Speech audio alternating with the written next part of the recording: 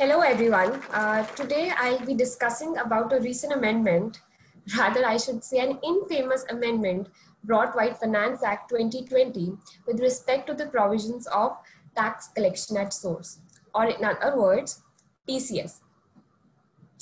So here, first and foremost, I will try to elaborate more about the basic concept of TCS because many a times we uh, confuse the provisions of TCS with that of TDS.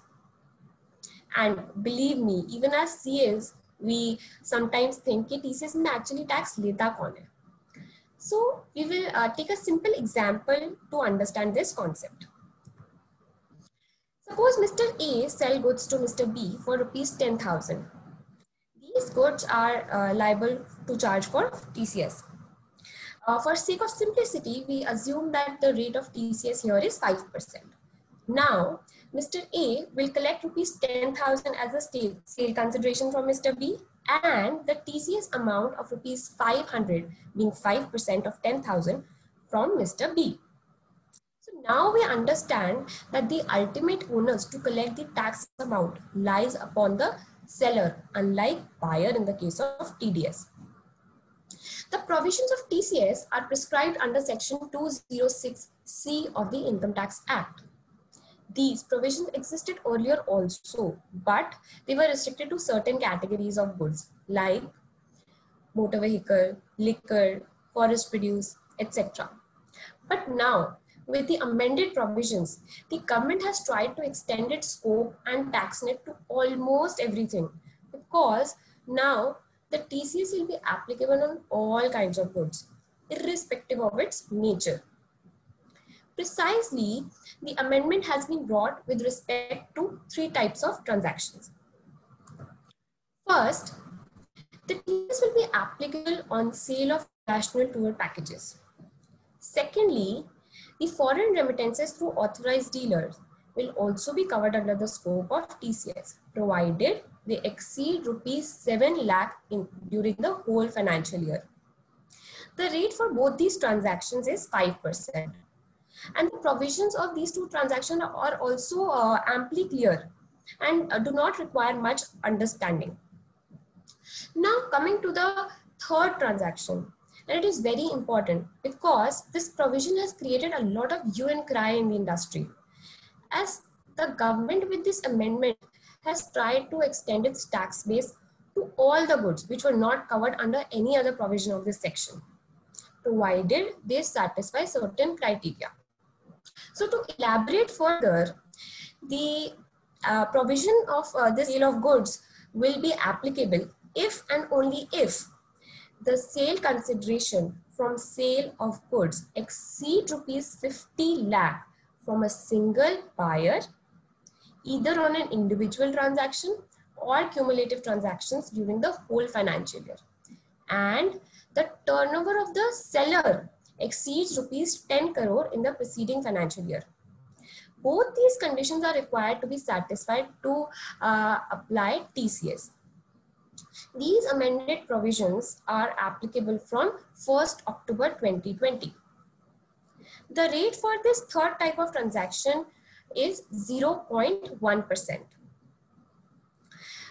Now, since these provisions are being made applicable from the middle of the year, there were certain gray areas for which we required certain clarifications. And government has come up uh, with a circular on 29 September, uh, which we will discuss at the end of the session. Now, coming to the responsibilities and preparations required for the application of this section. As a buyer, what preparation are required to be made? First of all, the buyer should ensure that the PAN number is available with all the vendors to avoid any excess collection of tax. Like in case of non-availability of PAN, the TCS rate generally would be twice the rate prescribed under the respective clause or 5%, whichever is higher. But in the case of sale of goods exceeding rupees 50 lakh, which we uh, just discussed about, this rate of 5% has been substituted with 1%. So in case the PAN is not available and the sale consideration exceeds rupees 50 lakh, there could be a possibility that TCS is collected at 1%. Secondly, the buyer should ask the vendor to sign a declaration that the TCS amount collected will be duly deposited with the government and the transactions will be reflected in the quarterly TCS return and the TCS certificates will be issued thereupon. Thirdly, the buyer should ask the vendor to show the TCS amount on the face of invoice itself to avoid any ambiguity as to what TCS will be charged or has been collected by the seller. Further, the buyer should also persuade the vendor to issue separate invoices for sale of goods and sale of services. Because in case there is a single invoice of mixed nature, there could be a possibility that TDS and TCS are applied on a single invoice. And this could lead to cumbersome compliance although uh, the government has provided a provision that TCS can be avoided in case TDS is applicable on an invoice. Nonetheless, as a buyer, we cannot escape our responsibility uh, to deduct TDS even though TCS has been collected. Now coming to the uh, preparations required on the part of vendor. The vendor should first of all ascertain whether the turnover in the preceding financial year exceeds rupees 10 crore or not. If not, then it's okay. But if it does exceed, then he will have to identify the buyers with whom he have he has entered into transactions exceeding rupees 50 lakh. And on each penny exceeding rupees 50 lakh, he will have to collect tax from the buyer. Further, this tax collected will have to be deposited to the exchequer at each month end. Then the quarterly return has to be filed and the TCS certificates will have to be issued to the buyer. The uh, due dates of all uh, these formalities remain some are uh, more similar to that of TDS. Now, uh, to explain this whole concept in a more uh, manner, we will discuss about the accounting entries of uh, this TCS provision. For this, we have considered a sample invoice where office chairs are being sold uh, for rupees 1 crore. And we have not considered here the GST amount or any other tax uh, for simplicity's sake. The TCS here has been charged as 0.1% being 10,000 rupees. So in the books of vendor, uh, the entry would be simply bank account debit to sale account to TCS payable account with the respective amounts. The point of collection of uh, TCS is the uh, point only when the amount is actually received from the buyer, neither before nor after. And once this amount has been collected, the seller will have the responsibility to get this amount deposited with the government at each month end. For that, he will have to knock off this liability account with bank account, which, which uh, simply could mean TCS payable account debit to bank account. Now coming to the entries in the books of buyer. The buyer would simply debit the purchase account now he will debit the TCS receivable account because it is an asset in his books and will credit the uh, corresponding amount to the bank account. And once this credit is available in the TCS certificate at quarter end, he will uh, utilize this credit amount to pay off his income tax liability or any advance tax liability. For this, he can simply pass an entry income tax payable account debit to TCS receivable account. This is the whole concept and idea of TCS. Now coming to the uh, recent update provided by CBDT in this regard.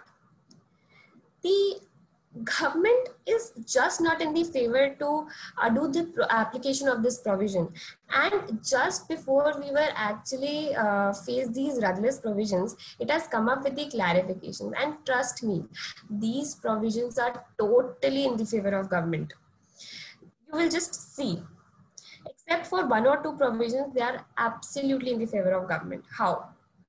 The TCS, although will not be applicable on the uh, transactions uh, incurred through stock exchanges. Secondly, the TCS will also not be applicable on uh, sale of petrol to non-resident airlines at airports in India. Now we come the uh, we come to the actual amendments and updates uh, provided by the CBDT. The TCS will be applicable on the sale considerations received after 1st October, even though the sale was effected before this date.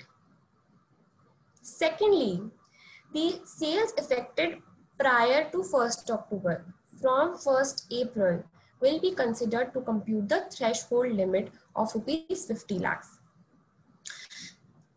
Thirdly, uh, the TCS will not uh, like the sale consideration will not be reduced from the amount of sale return, discount, or any indirect tax like GST uh, applied on the bill of raised by the vendor.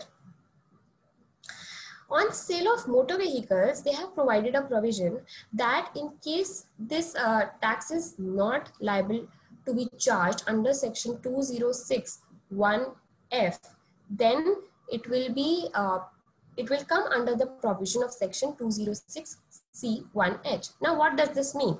Section 206c1f provides that in case of sale of motor vehicle to any end customer uh, for a value exceeding rupees 10 lakh, TCS would be applicable. But here, any B2B transactions were not covered. So why section 2061H, which is the new amended section, the B2B transaction will also come under the ambit of TCS, provided they satisfy the criteria of 50 lakhs.